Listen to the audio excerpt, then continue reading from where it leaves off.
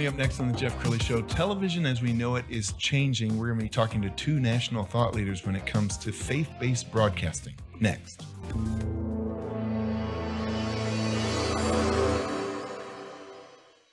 Many are predicting that the worst is yet to come, which is unfortunate, said one person here. Until now, they've enjoyed the reputation of being the nation's icebox. Watched a burglar in his home this morning by webcam. As a journalist of over 25 years, stories are what make my world turn. Reporting live from the Dallas newsroom tonight, Jeff Crilley, Fox 4 News. But in 2008, I took the jump from my familiar life and started a PR firm from my home. We're talking about anyone with a camcorder like the one I'm using becomes a television network. We started slowly growing the company, and we now have over 100 clients, and we've branched into the world of live digital broadcasting. I now own eight different TV studios and have a huge team, and the stories that I now get to share are sometimes the most important of my life. Life has a funny way of coming around full circle. This is The Jeff Crilley Show. Well, I don't know how old you are, but when I was growing up, there were only four channels. And I think some of them had static, so I, I couldn't see all four, but it was ABC, CBS, NBC, and PBS, Sesame Street, right? And these days, you can look at your phone and look at a billion channels. Everybody who has a phone is now becoming a broadcaster. And what it's doing is it's changing the way we receive and consume information and content. To talk about that today, uh, Jenny Lucky and Adnan Maqsood, they are two thought leaders when it comes to faith-based broadcasting, and they're in my studio. Thanks for coming on the show. Absolutely. Thank Honored you to for be here. having us. Yeah. Yes, thank you. Well, let's let's start with uh, with you, um, Adnan. Uh, you have been in religious broadcasting for how long now? Uh, 10 years, been in the religious broadcasting and love every bit of it. Yes. And how has it changed over the years? Like when I was growing up, you know, you would you would see these mega preachers and they would have their shows. How is religious broadcasting changing? So I will say that the religious broadcasting um, nowadays, you know, some of the videos that went viral and made a hit news, and you know, those were not the videos that perfectly done purposely, but like people done it with uh, spontaneous, uh, spontaneous, spontaneously they did it, and those videos went viral and uh, and made the hit news. And also um, the way technology changed, we don't use anymore the cameras that you know 20 30 years old uh, Sure. camera is supposed to be used but now you were talking about in your intro that if you have a cell phone now you have you know become a network so cell phone and um, now they have a robotic camera so you can just do different things with it take different shots and uh, and that made a um, television industry to be more productive creative at the simultaneous same time. So you can create so much content that can influence so many lives And we're going to talk more about your new network in a minute, but let's talk about the network that you just left in Houston. We're going to pull up the website, and as we scroll down the website, tell us more about this network that you ran. So this network, I was a GM for Christian Television Network in Houston, Texas. And we reached about five million household in the greater area of Houston. And then I clearly and loudly hear, if I can ever hear the voice of the Lord in my heart, that hey, it is a time for you to launch a brand new television network that is on the cutting edge, has a purpose and passions to not reach like just a five million household, but how can we reach worldwide 800 million people? Okay, hold that thought. We're going to come back to you. I want to introduce uh, Jenny Lucky. She's a good friend, and she just has so much charisma. I mean, we had to dim the lights because you walk in and, and the room gets brighter. So, so um, uh, you you have your own uh, television network, and uh, Fresh Encounters with God is is your uh, flagship show. Is that right? Yes, it's our new show that we're doing, and God has graced us with the finances to do it and just to come with all that He has.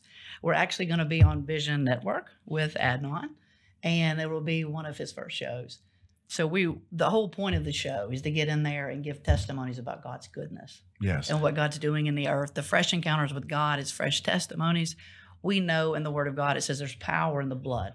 There's power in the blood of Jesus, and there's power in the blood of the Lamb, and there's power in the testimony. So we believe now is the hour to give testimony. Well, not only is she a charismatic television broadcaster, but she's an incredible speaker. I was going through some of Oh. your, your clips, and I found one that I found very hilarious. Let's go ahead and let's go ahead and roll that clip.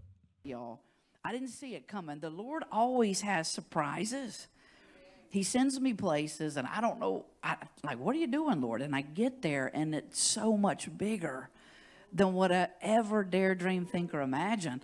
And last night, as I was sitting there at her table, we're just in prayer, and you know, the angelic hosts from her home, off in her living room, just uh, presenting themselves.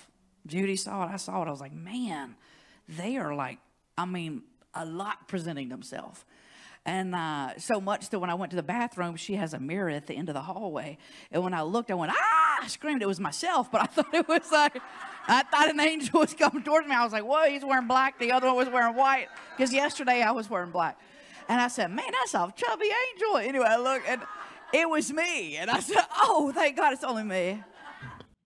And all that's ad Yes. lib because I, Yes. I didn't tell you I was going to run that clip. And, No. and for the first 30 seconds, I'm watching your face and you're like, I don't even remember this. And I was like, she probably doesn't even remember the one liner that she. You could do Christian stand up comedy. You really could. I think you could. the I joy of the it. Lord is our strength, and I think we should have fun. I think the viewing audience, if you're here, Jesus is fun. You know, we make church so ritual, but Jesus was not religious. He was about relationship, and you can imagine everywhere Jesus went, he was nothing but a bundle of joy. Mm. Uh, he created comedy, he created joy. So we want to be full of joy. Absolutely. And uh, uh, Adnan, you're not so bad yourself. In fact, I want you to set up the clip they're about to see. Uh, where were you speaking? How many people were in the audience? 70,000 people in Pakistan. Um, it's a mass crusade is happening. And uh, we've done a crusade before that. So, total 57,329 people gave their lives to Jesus Christ. So, that was wow. a big miracle. And I love it. And you're kind of a mellow guy here, but when you get on stage, man, you light it up. So yes. let's, let's go ahead and roll that clip. All the way back in the corner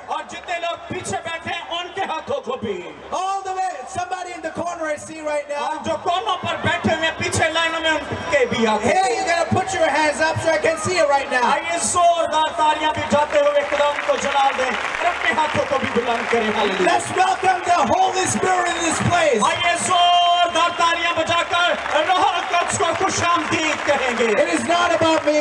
ये मेरी वजह से नहीं है It is not about anybody else. किसी और शख्स की वजह से नहीं It is the Holy Spirit is right in this place. Wow. Yes. Were you intimidated? I mean, that's a lot of people. Uh, not intimidated, but um, when you have a purpose and passions to reach out to those that who are lost, you know, intimidation is like fly, you know, Yes. away or, or fade away, you know, because you are, you know, your calling, you know who you are in Christ Jesus, and you know what you're representing. It's because if it would have been my show, then I would have been probably a little bit intimidated, but but it was not my show. I knew it was it's Jesus Christ, you know, gotta be there, and it's all about His presence. So Okay, let's talk more about Vision Television Network. Yes. Uh, how is that going to differ from the, the world that you were just in? So um, when it comes to the media, I, I get it, and niche of the media. Um, I also have a degree in marketing. I just got uh, accepted in Harvard for marketing strategy. Congratulations. Uh, just happened like uh, two days ago. And uh, my thing is like, how can I be up trending a guy in a marketing television network and also media? Because media is the the way of the world. That's where the world is mm. heading. Everything that you know we do, from fixing the toilet to the doorknob, everything is on video. And what we are doing right here is a video. So I will I believe the media and the studio, Jeff, what you're doing is incredible. Thank I just gotta give you that for you're way ahead of like so many people are trying or thinking to do, but Thank you've you. done it. Uh, but this is what the studios, the videos, this is the way of the world. This is the future of the world. This is where everybody's heading. And I believe um, it is going to change so many lives and the way people think, the informations now we have at the tips of our fingers. Yes. So Vision Television Network is coming up with the same strategy that how we can tackle some of the marketing, some of the areas in the world that have not been tapped, but how can we go in there and impact life for the good Yes. uh, of Jesus Christ? Well, I applaud both of you because, um, you know, a Gallup poll a couple years ago found for the first time in the history of this nation, um, fewer than 50% of people attend church, Mhm. regularly attend church. And so the unchurched out there, they may not get messages like this. They're not Right. going to go hear it from a pastor. Right, right. So uh, tell us about the show that you're doing and how does that reach the unchurched? Well, we're we're choosing unconventional ways, Jeff. What we would like to do, we'd like to like set up meetings in coffee bars. uh, mechanic shops. We're going into apartment club uh, lounges, and we are setting meetings up, and we are seeing healings, deliverances, people getting set free in every area. We are prophesying over the people, and so some of the show will be that. It's more um, going after the heart of God for the people. So we know a lot of people, like you're saying, are not going to church. Right. So we have to go where they won't go and invite Yes. them to come in to places where they feel free, where they feel safe. And it's amazing the multitudes are showing up. And and I think the world desperately needs some quality programming. I mean, it seems like uh, when you watch the traditional networks, they come out with Married at First Sight and all of this, you know, just these programs that are ridiculous. Right. Yes. Um, in the little time we have left, I'll give you both about a minute to give your final thoughts. Uh, look into the viewer's eyes and and tell them Adnan why they need to start following you and and getting engaged. So I, I think it's very important for in, in anybody to grow into media and also how we can reach the lost world. It is the media mm-hmm. is the way. You know, you can spend so much money to go to Africa or Asia, mm-hmm. you know, or you can just buy a very nice camera and then be reaching all over the world uh, through the you know the lens of the camera. Mm-hmm. Somebody said the camera lenses are missionaries you know that for us so we can reach people we can talk to them communicate with them. So uh, if you want to follow uh, vision television network you can go on facebook. We have over 50000 people following us there. And uh, the heart is to design the website also uh, the make it available on uh, social medias and digital platforms and also acquire five satellites that's going to help us to reach 2 billion viewership. So hey listen uh-huh. i'm right now available if you want to get a hold of me please feel free to reach out on visionministries.tv Outstanding. And Jenny, we'll, we'll give you the final word. Yes. Well, first of all, thank you for joining. And I thank you, Jeff, for the opportunity to come. And my brother Adnan, I thank you for being here. But we would love for you to join freshencounters.tv. We want to equip and train you. We want to say from young ages to 2 to 120. We want to be able to say, hey, God is in all of us. There's no junior Holy Spirit. We have seen three, four, five year olds laying hands on the sick and seeing the miraculous hand of God move. So we're out there. We want to train you in your authority as a believer and to show you your identity.